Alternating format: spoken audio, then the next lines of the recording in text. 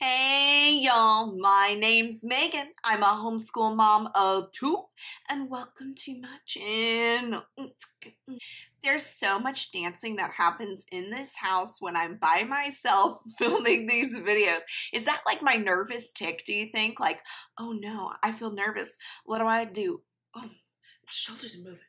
What's happening? Anyways, in today's video, I want to talk to you guys about how our homeschool month of September went, tell you what worked, what didn't, and give you all the recommendations for what we're going to be doing in October. So let's sit back, relax, and get down to business. Okay, before we begin, I do need to say, like, we're officially in spooky season, y'all. Like, who who who's excited about the spooky season? Uh, I know that I am, and I can't wait to share with you guys all of the goofy little things that we're going to be doing for the month of October. But before we get into that, I just want to go over some general feelings for how I think the month of September went for us. And you guys, I'm so excited to really share that the month of September has been so good to our little homeschooling family.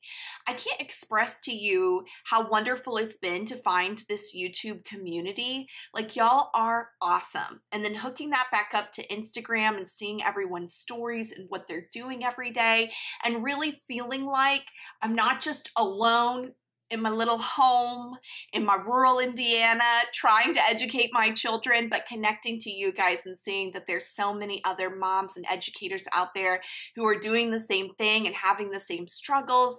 That has just been absolutely life changing for me. So I really want to say thank you to you guys. I'm just shocked and honored that anyone takes time out of their busy day to watch these videos. So with that being said, I'm going to keep going because I know you're busy and you have lots of things to do.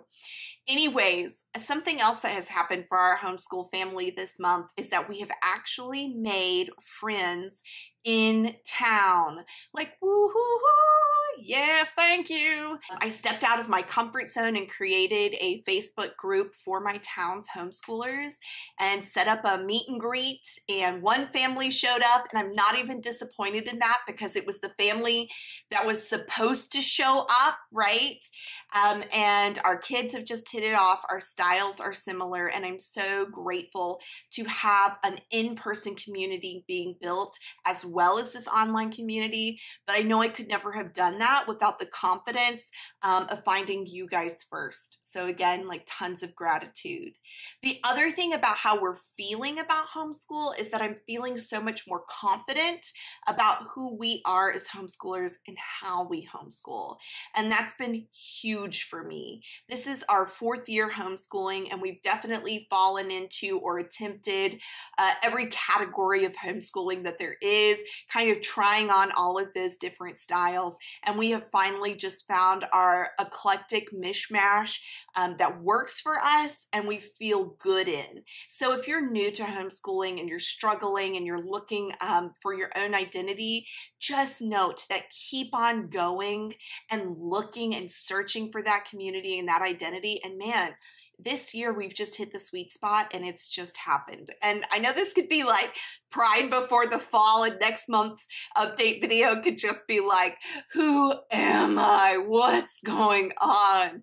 But as of now, we're feeling really confident in who we are and what we're doing and where this homeschool is going.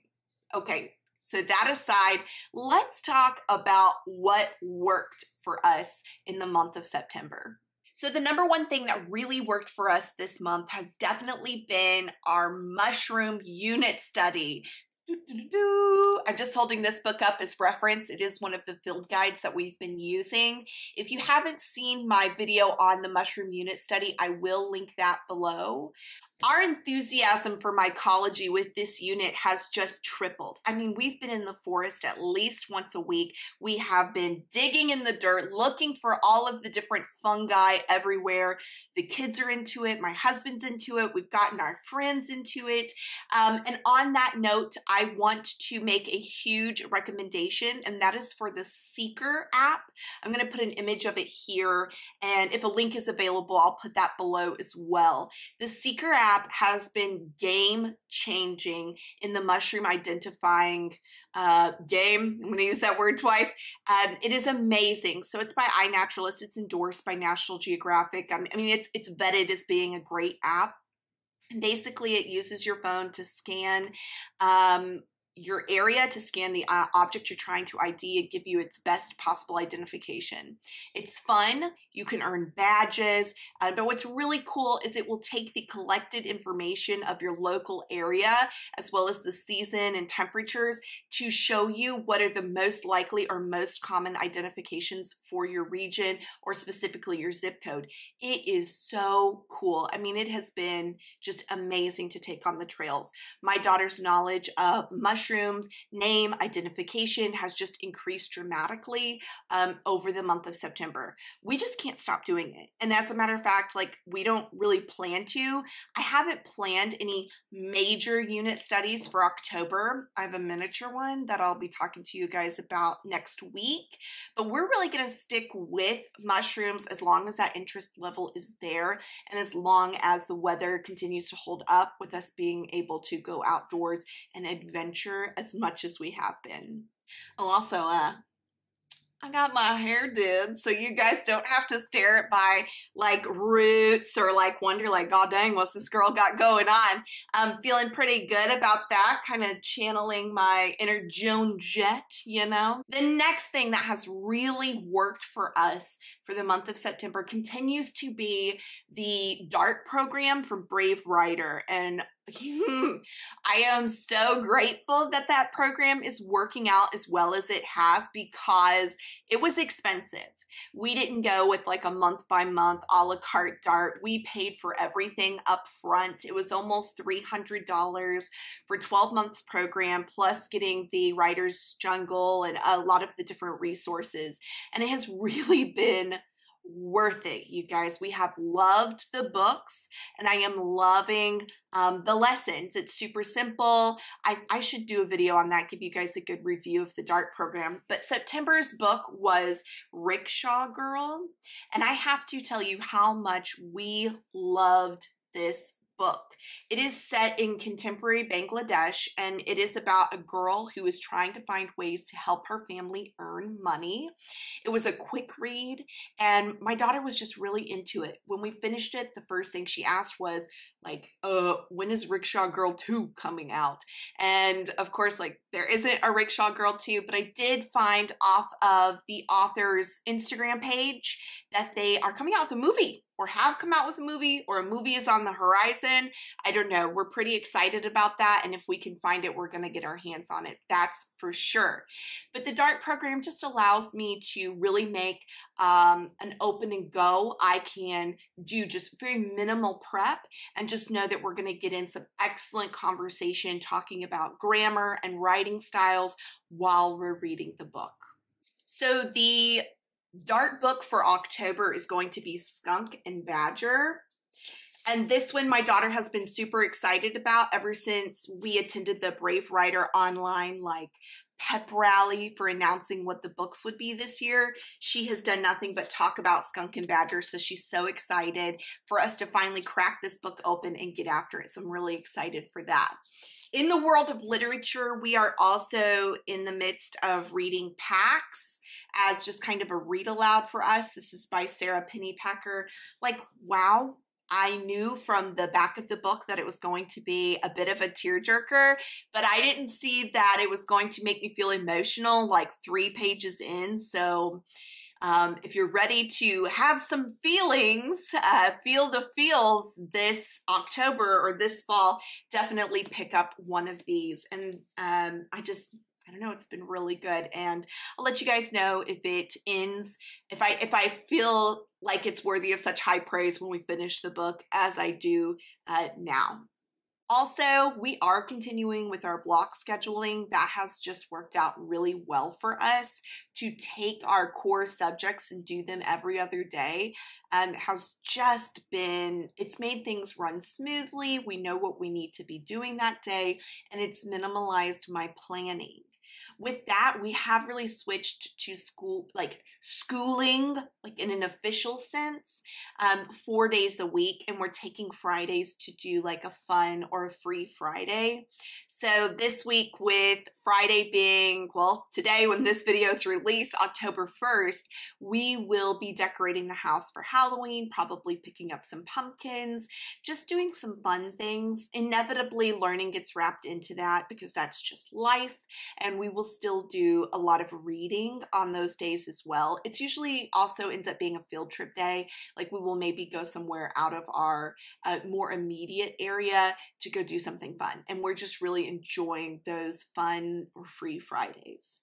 All right, the last thing I want to add to the category that I'll label as like things that worked for September is definitely my new planner, and this is from Megan at SchoolNest.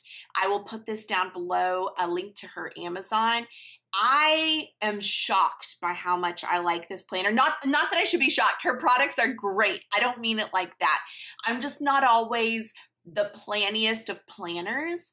Um, and it's really got me shook. And the number one thing that I love that I didn't even think I would enjoy as much has been like the week at a glance business. I have really enjoyed just jotting in everything that I know we have going on, not really what we're going to be doing for school, but like appointments or play dates or places I know we need to be and when. Just being able to see that all in one place has been pretty amazing.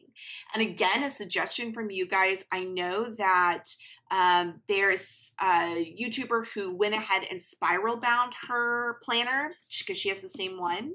I think I'm going to try to do the same thing. So if that happens, I'm going to post it on Instagram for you guys, um, and you could see if I like that as well. Okay, so what didn't work for us this month? And I don't even want to frame it in that language of like what didn't work. We just had some really excellent resources that have been very effective for us in the past that for whatever reason were just not a good fit for where we are today. And kind of that piece about gaining confidence, we could just really easily and with confidence make that change and say, this isn't working for us. And we just make a change. So when I say that we stopped using a few of the things that were kind of our tried and true homeschool spines in the past, please don't take that as me not endorsing these products or programs as good because they're wonderful. It's just they weren't fitting our needs um, in this season.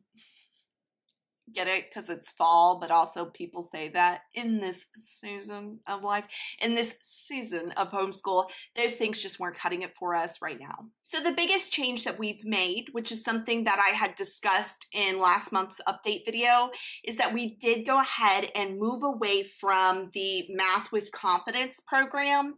And this was by Kate Snow. I love this program. We used Math with Confidence for kindergarten all last year. We did the entire program um, from beginning to end, and it was really wonderful.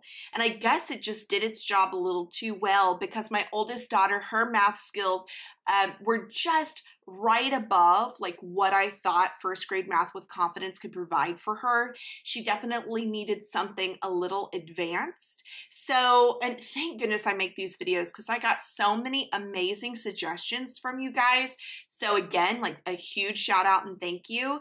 And I'm going to tell you what we decided to go with. So we did go ahead and switch to Dimensions Math, and this is um, a Singapore math program. The main reason that I made the decision to switch to Dimensions is because I know that it has a reputation uh, for being a little bit more advanced, or the Singapore math method does in general.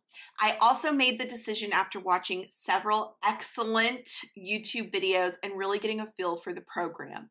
I'm going to link um, one of the videos below that I really liked that really made the difference for me, and that's from Ode to Abode. You should go follow her anyways if you don't already, but I will link her flip through of the Singapore math curriculum, Dimensions Math below, so that you can go um, and kind of see what it's all about. One of the things that I loved about it is that you can buy the programs in halves halves. So each program comes with an A and a B, kind of as if they were being presented as semesters.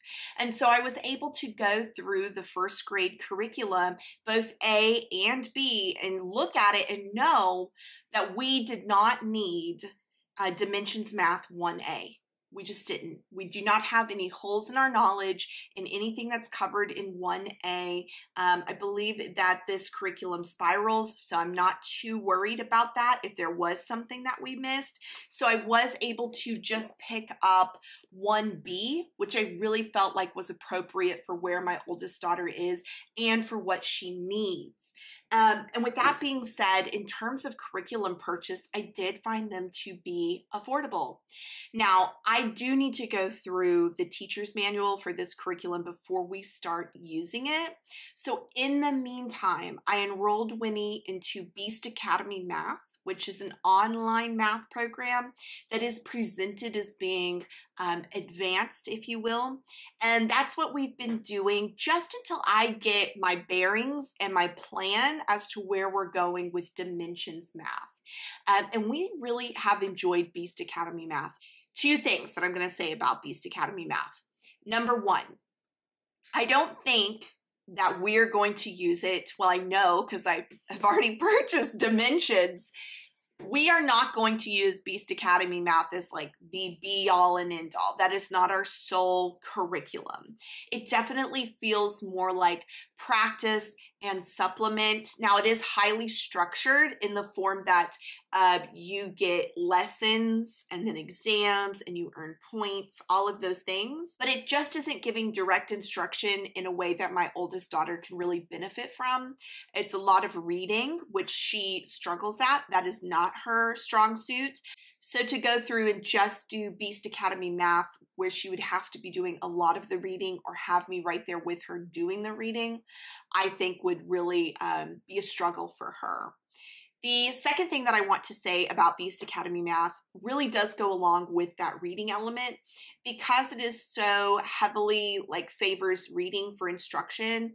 I do sit down and do that with her, but I don't even mind. Like it's fun. The way they present it is challenging. It's generally puzzles or games, um, and we've had a good time doing it together. I I really like Beast Academy Math. Like it's changing the way um, that I see simple math, such as like looking at three digit numbers, place value, um, subtraction, addition, kind of getting me kind of making that switch into the Singapore math mindset um, has been good for me as her teacher as well. Um, it's also very fun, very cute, very interactive. So we have enjoyed that she also gets a big kick out of making her monster, which is the whole thing. So if you haven't checked out Beast Academy Math, it's worth trying it for a month um, to see if it's for you or if your kiddos enjoy it. And it's also just really well presented, and the interfacing is just top notch. This isn't like did you guys have educational computer games when you guys like when y'all were younger educational games back in the day, um, they were not this, okay? They were not this in depth or this interactive or have this great of an interface. So we enjoy Beast Academy Math. It's just not going to be our baseline curriculum. It's probably going to be um, a for fun or occasional thing. We're just doing it regularly now until I can get my booty and gear to get Dimensions Math planned out for us. Okay, the next one is a big one for me. We quit co op. It was a very casual co op. That's the first thing I'm going to say. We just did science, it was two hours, three weeks out of the month, and it just wasn't like jiving for us, and that is totally okay. Everyone there was awesome. There was a lot of really cool stuff going on, so I don't have any negative things to say about anyone. It just wasn't what we were looking for. It was a lot more parental involvement than I was thinking it was going to be. Um, it was presented as definitely being kids and kids interacting and cooperating. And I just saw a lot more, like I said, parental participation that was limiting that kid to kid interaction. Um, and we were driving an hour each way to get that. So if I wasn't going to be getting that, socialization cooperation element for my kiddo i just didn't see a reason to do it.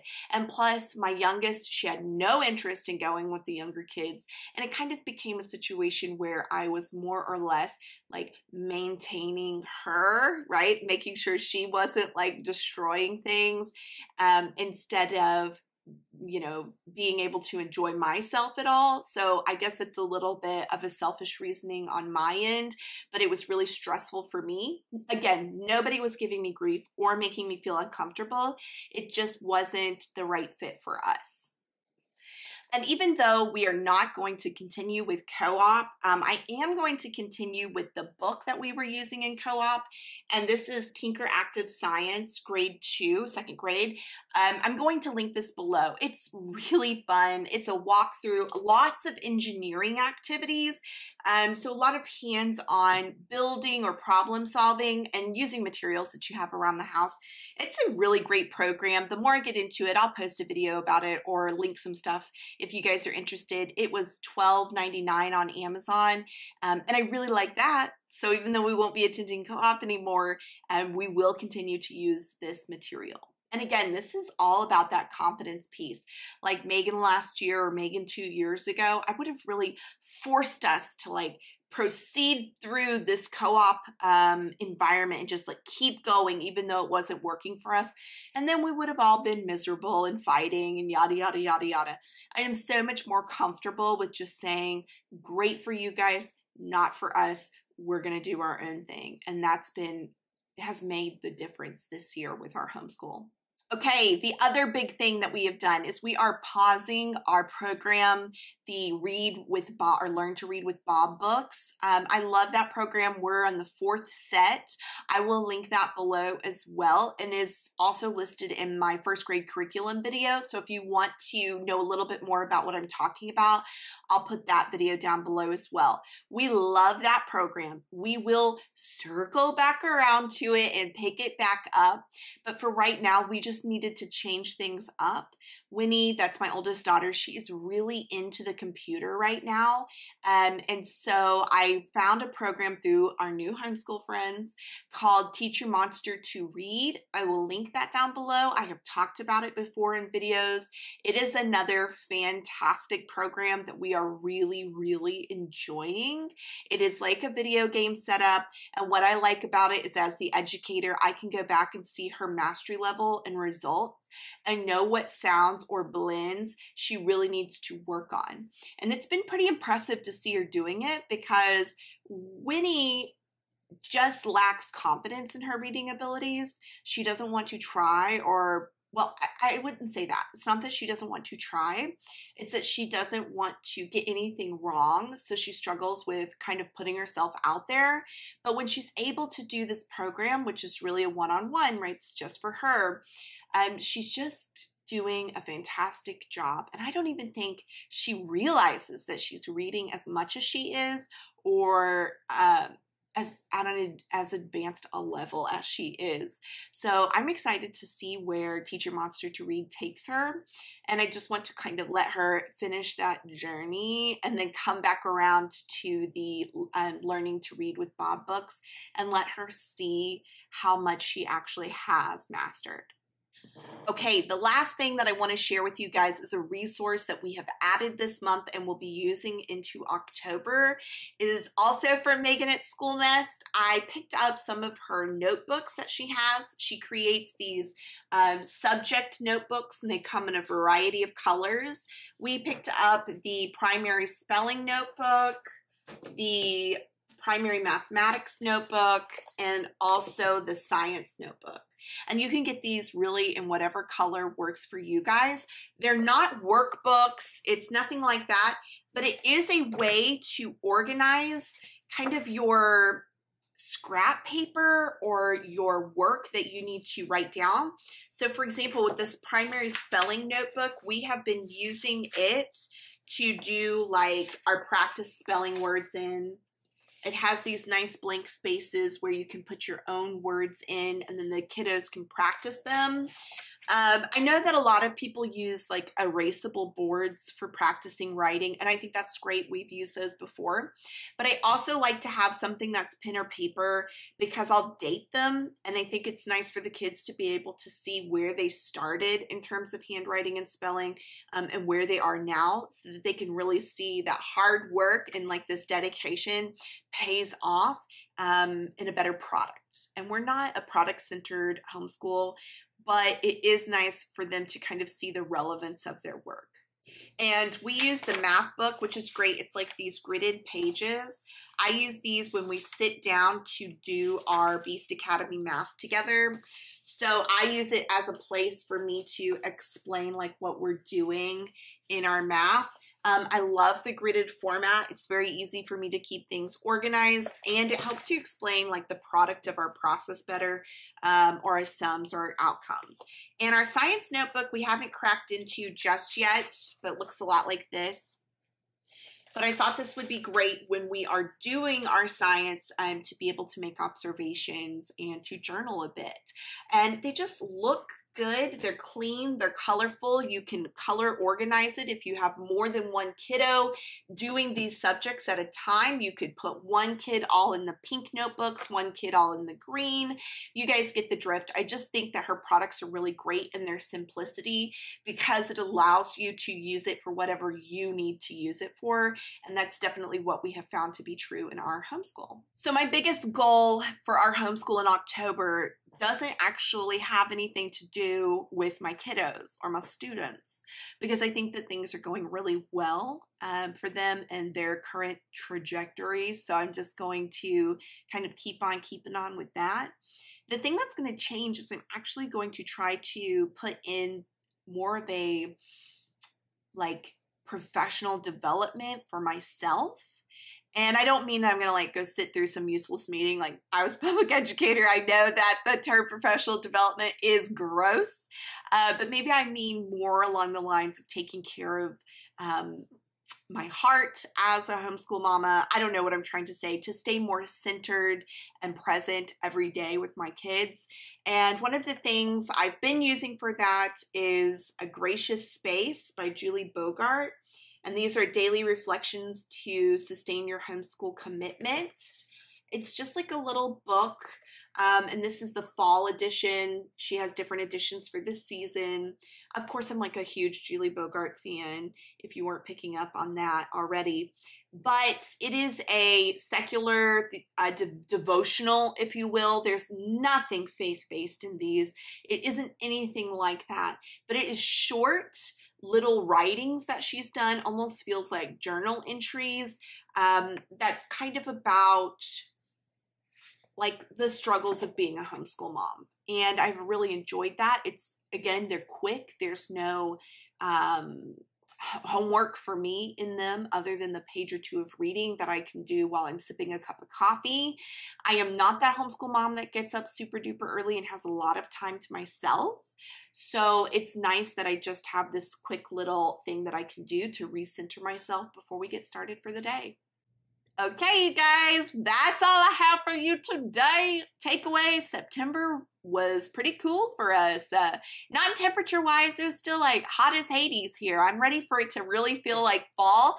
And I'm hoping that as we transition into October, we really get those fall time temps so we can get to cuddling and reading and snuggling.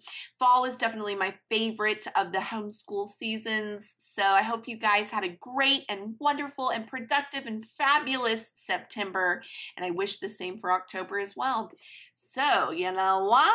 Was it perfect? No, baby. It was never gonna be. But is it done? Yeah, for today, it is. So until next time, bye.